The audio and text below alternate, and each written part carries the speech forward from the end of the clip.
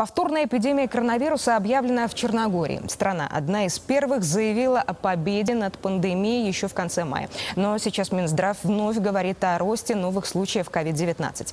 За минувшие сутки их около 100. В Черногории сейчас самый разгар туристического сезона. Однако власти вынуждены ввести повторные ограничения. Защитные маски вновь становятся обязательным на всей территории страны.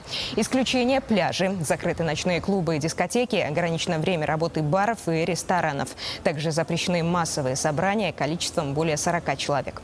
Новая вспышка ковид и в Барселоне. Всего за два дня там почти 3 тысячи новых случаев заболевания. Местные власти призвали около 3 миллионов местных жителей остаться дома. А в США, в Висконсине с карантином не согласны школьники и студенты. Они требуют открыть школы к началу семестра.